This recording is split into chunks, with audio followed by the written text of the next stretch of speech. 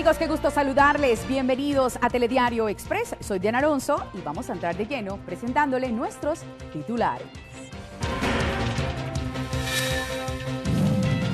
Oso enjaulado en Rusia devora el brazo de un hombre. San Carlistas anuncia que la esperada huelga de Dolores será totalmente diferente. Anuncia la construcción de una réplica del famoso barco Titanic que navegará entre China y Dubái. Hombre que impide el robo de un banco en Estados Unidos se ha convertido en el nuevo héroe de la comunidad. Niña de dos años se salva milagrosamente de ser arrollada por un automóvil.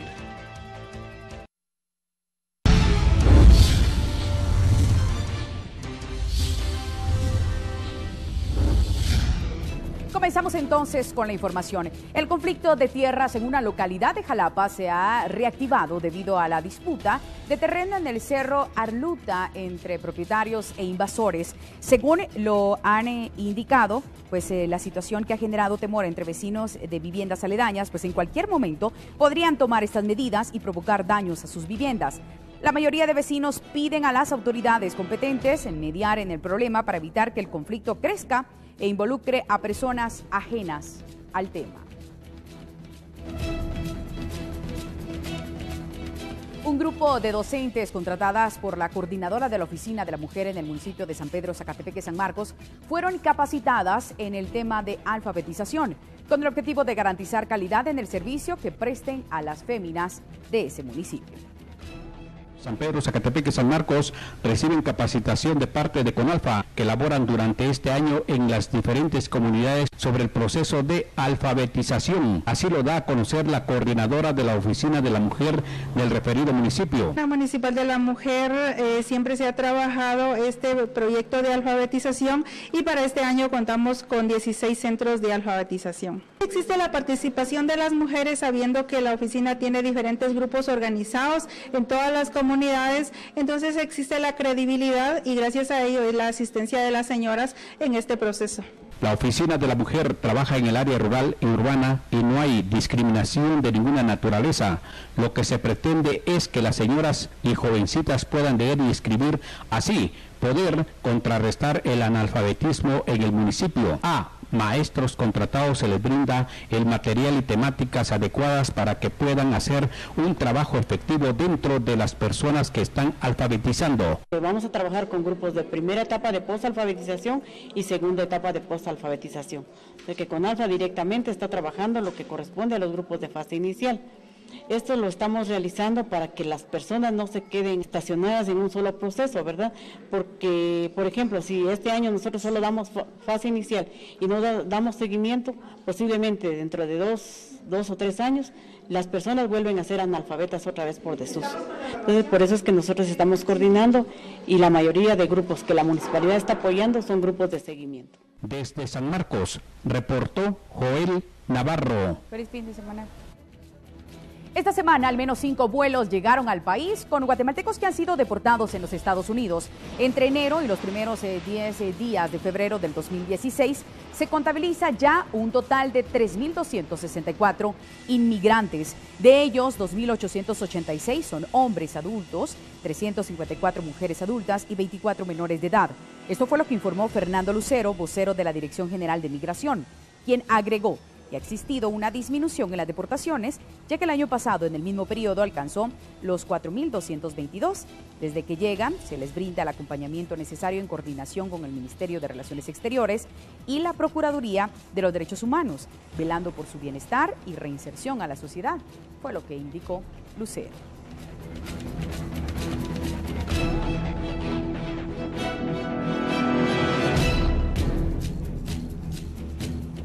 Vamos eh, rápidamente a salir a las calles de la ciudad. Nos enlazamos vía IPTV con Jorge Navarijo y es que ha ocurrido un ataque armado en la zona 19 en Colonia La Florida. Jorge, adelante con el reporte. Te encuentras en el punto. Adelante con la información.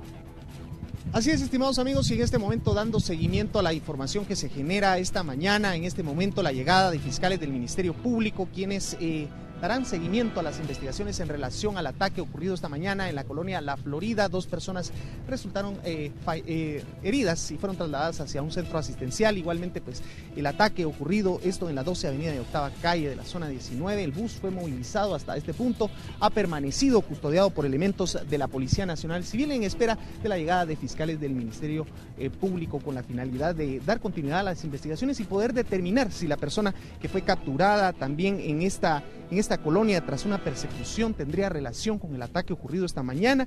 La persona capturada, ya les habíamos mencionado, Brandon Luis Martín García, a él se le incautó un arma de fuego, sin embargo será tras una investigación que podrá determinarse si esta es la persona responsable de haber atacado a esta unidad de transporte colectivo en horas de la mañana. En este momento pues las investigaciones siguen su curso, la Fiscalía contra las extorsiones dando seguimiento a estas situaciones que se encuentran afectando severamente al transporte público. Ayer igualmente un bus de Misco también fue atacado justamente cuando hacía su recorrido en la calzada Roosevelt, lo que ha motivado operativos que se están realizando en al menos dos separadas sobre la calzada Roosevelt, de acuerdo con autoridades del Ministerio de Gobernación. Información que les compartimos, estimados amigos. Regresamos allá con ustedes al estudio principal. Estaremos entonces eh, que nos generes más detalles sobre este ataque armado que ha surgido en la zona 19 en la colonia Florida.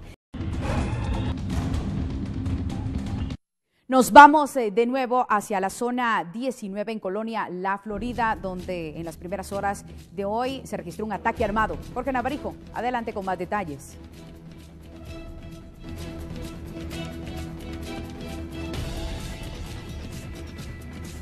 Así es, estimados amigos, y es que autoridades han informado que en la comisaría 16 permanece el supuesto atacante de un bus de la ruta 73, un ataque que ocurrió, esto en la colonia La Florida, en la zona 19. Por resultado, dos personas heridas, la persona capturada, pues se le incautó un arma de fuego, fue identificado como Brandon Luis Martín García. Él, pues en breve será trasladado hacia Torre de Tribunales, en donde se le imputarán los cargos. En este momento también eh, pues fiscales eh, del eh, Ministerio Público se encuentran dando seguimiento a las investigaciones. El, autobús que fue atacado esta mañana pues permanece parqueado en una de las calles de la colonia La Florida. Eh, presenta pues impactos de bala en la parte frontal, en el vidrio frontal. Es por eso que, bueno, aunque el ataque ocurrió a escasas cuadras de aquí, el, el bus de transporte colectivo fue movilizado hasta este punto. Sin embargo, en este momento está siendo objeto de investigaciones por parte de fiscales del Ministerio Público. Información que en este momento les queremos compartir y a través de este reporte regresamos allá contigo en el principal. Por supuesto, Jorge, estaremos al pendiente de más información. Ahora cambiamos de tema. Los comités que integran la Fraternidad de Huelga de Todos los Dolores 2016 de la Universidad de San Carlos de Guatemala anunciaron un nuevo garis de su festividad pretendiendo pues retomar la tradición huelguera en todos sus aspectos. Explicaron que todos los boletines serán eh, dados con lecturas los jueves en el interior de la universidad y los viernes en diferentes puntos de la ciudad. El 10 de marzo se realizará la declaratoria de huelga. El 12, la elección del rey feo, el 16, la velada y el 18, el desfile bufo. Según informaron, no habrá más toma de parques dentro de la universidad. La recaudación de fondos también será distinta, pues empresas privadas han ofrecido su colaboración económica, lo cual implica que no se recolectará dinero en las calles ni en el campus. El día de la marcha frente al Palacio Nacional de la Cultura habrá distracción para quienes esperan allí su paso con música y la actuación de los Reyes Feos. Actualizamos ahora la información, vamos directamente a la sala de redacción y tenemos el placer ya de tener a Francisco Olmedo con nosotros con el reporte. Francisco, buen día, qué gusto saludarte. Adelante. Buenos días Diana, un gusto también estar aquí con ustedes. Les indico que la Policía Nacional Civil en el transcurso de las últimas 24 horas ha procedido a la captura de 51 personas. También se han recuperado nueve armas de fuego, así como cuatro vehículos de motocicletas y siete vehículos de cuatro ruedas. Este es parte de los operativos, sin embargo es importante dar a conocer que en Suchitepeque la policía desmanteló una banda que se dedicaba al trato de menores. Fueron cuatro bares los que fueron prácticamente eh, tomados por parte de la policía. Se localizaron dos mujeres menores de edad que estaban ahí siendo forzadas para ser prostituidas. la captura de Carolina en este momento, Juana Chocó Velázquez de 45 años, así como Maritza Judith Gómez de 49 mientras que otras cuatro personas hasta el momento no se han identificado plenamente, también fueron detenidas. Se ha desmantelado esta banda que aparentemente bajo engaño se llevaba a las menores, las hacía prostituirse y posteriormente las amenazaba para que no denunciaran estos hechos, pero ya la banda ha sido desmantelada. Es la información que tenemos por el momento, nosotros vamos a regresar Diana allá contigo. Francisco, gracias por la información. 8 de la mañana con 27 minutos. Quédese con nosotros. Regresamos así de rápido. Esto es Telediario Express.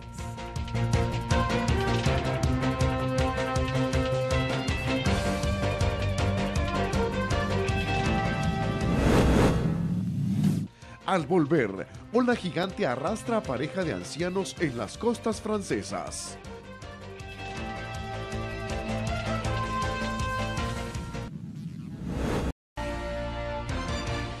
Seguimos con más información acá en Telediario Express.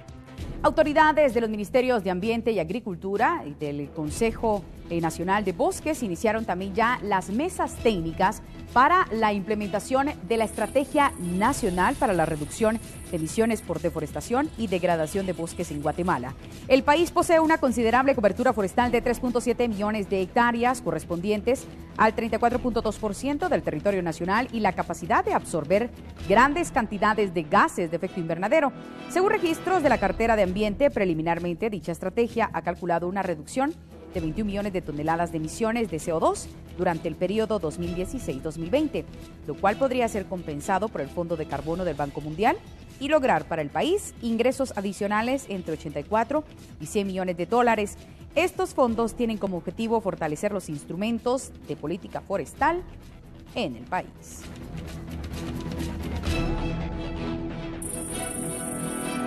Vamos a enlazarnos de manera simultánea a nuestra sala de redacción y por supuesto con la IPTV, con Jorge Navarijo. Adelante compañeros. Gracias, Diana. Y es que continuamos informando. Precisamente esta mañana se va a efectuar una conferencia de prensa por parte del Ministerio Público con la presencia de la ministra de Trabajo. Y es que se ha logrado desmantelar una banda que prácticamente operaba al interior del Ministerio de Trabajo podrían estar varios funcionarios implicados en este hecho, ya que aparentemente al momento en que los trabajadores hacían su denuncia en contra de algún empresario, ellos le solicitaban dinero al empresario para no continuar con las pesquisas. Esta es parte de la información que se dará a conocer en su momento. Es una conferencia programada esta mañana ya en el Ministerio Público. También te indico que esto tiene relación con la captura de hace algunas horas de un inspector que estaba recibiendo aparentemente 5 mil quetzales de un empresario para no continuar con una pesquisa porque no había eh, hecho el pago de unas prestaciones. Sin embargo, será a eso de las 11 de la mañana cuando se tendrán datos puntuales sobre este suceso. Esta es la información que tenemos. Ahora vamos con Jorge Navarijo, que está allá en la colonia La Florida, para que nos dé más información relacionada siempre con el ataque al bus y aparentemente ya hay una paralización del servicio.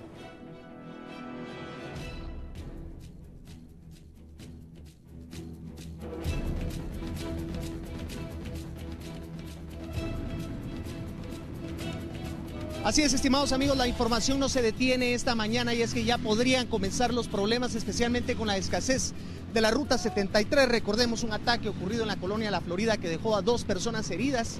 Podría suspender en breve el servicio y aunque autoridades han informado que la persona que cometió aparentemente el ataque fue capturada, en ese momento ya notamos una escasez en el transporte de autobuses de esta ruta que recorre el Naranjo. Ya esta unidad es eh, probablemente de las últimas que podría realizar el recorrido. Igualmente en este punto, eh, pues las personas buscan poder abordarlas temprano. Eh, igualmente, pues queremos conocer aparte de lo que las personas están viviendo en este momento. Caballero, usted está esperando esta unidad de bus. Así es. va completamente llena, tiene conocimiento acerca de si podría haber alguna suspensión o si esta situación le podría ocasionar problemas. Pues no, no, no le podría decir porque como es primera vez que... ¿Hace cuánto tiempo que está esperando la unidad? Pues yo acabo de llegar. Ajá. Bueno. Muchísimas gracias, caballero. En este momento pues vemos que las personas luchan por encontrar un lugar. La unidad se encuentra prácticamente llena y las personas pues intentan viajar. Señora, la vemos con inconvenientes para poder abordar la unidad de transporte. En este momento pues son varias las personas que como lo pueden apreciar en las imágenes eh, intentan pues abordar dicha unidad, una situación que podría volverse bastante complicada. Como les mencionaba, autoridades indicaron de que la persona que aparentemente cometió dicho ataque pues eh, fue capturada. Sin embargo, eh, serán las autoridades quienes darán continuidad a esta situación que podría continuar pues complicada, especialmente ya que las amenazas continúan y debido a esto la escasez de los buses se hace presente justamente ya desde esta mañana. Es parte de la información que en este momento les queremos compartir a través de este reporte. Nosotros continuaremos llevándoles más información y mientras tanto regresamos allá al estudio principal. Realmente lamentable lo que está ocurriendo ahí en la colonia La Florida por los usuarios y les recuerdo que la Policía Nacional Civil hace un llamado a los pilotos para que denuncien estos hechos. Si ellos no lo denuncian, no pueden investigar y no se realizan los operativos como los que se están efectuando precisamente esta mañana en la zona 21. Esta es la información, Diana. Continuamos allá, por favor. Así es, Francisco y Jorge Navarijo, gracias por la información simultánea que nos brindan. Vamos a cambiar de tema. La Organización de las Naciones Unidas para la Alimentación y la Agricultura reportó un incremento en la inflación alimentaria en Guatemala en el último mes del 2015. Según el informe Precios de los Alimentos en América Latina y el Caribe, la inflación alimentaria durante diciembre fue de 1.2%, 0.3 puntos porcentuales más que el mes anterior.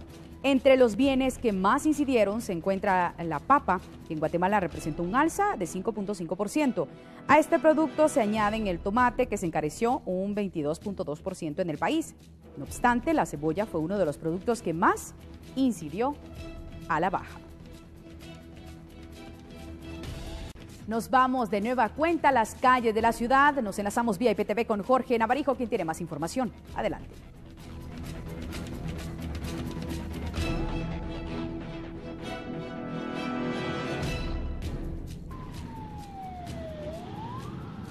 Así es, estimados amigos, en este momento nos encontramos a inmediaciones del Naranjo. Y es que en este momento los taxis podrían ser los mejores aliados para poder trasladar a las personas durante esta mañana, ya que se prevé una escasez de buses de la ruta 73, esto derivado al ataque ocurrido esta mañana que dejó como saldo a dos personas heridas. Y aunque las autoridades indicaron de que se capturó a la persona que presuntamente fue responsable del ataque, se prevé que la escasez de transporte colectivo se encuentre afectando especialmente a las personas esta mañana. Sin embargo, esta situación pues resulta bastante inconveniente, las personas deben pagar más, incluso deben compartir las unidades de taxi para poder trasladarse, es parte del panorama que encontramos en este momento en la ruta que justamente utiliza la ruta 73, sale desde la colonia La Florida, igualmente se dirige por el Naranjo, trasladando a las personas eh, desde temprano. Sin embargo, ya probablemente las últimas unidades de transporte son las que se encontrarán circulando durante esta mañana, siempre y cuando no haya acuerdos en relación a la seguridad para los transportistas. Es información que les estamos compartiendo, estimados amigos.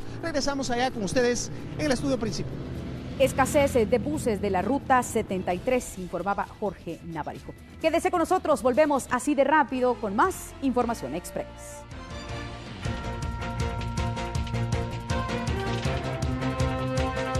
sin lugar a dudas, aquí no se cumple que el perro es el mejor amigo del hombre, sino este mapache es el mejor amigo de su propietaria. Bueno, increíbles imágenes. De esta manera ponemos punto final a nuestra emisión. Muchísimas gracias por habernos acompañado. Desde ya le deseamos que disfrute en familia este Día del Amor y de la Amistad. Recuerde que a las 19 horas del domingo hay noticias en la emisión del fin de semana. Y a las 12 del mediodía, Karen Mancilla y Luis Garistul esperan con más información. Y a las 19 horas en la emisión estelar, Andri Carías y Vanessa Meléndez. Soy Diana Alonso. Que tengan un excelente fin de semana. Abríguense muy bien. Hasta la próxima.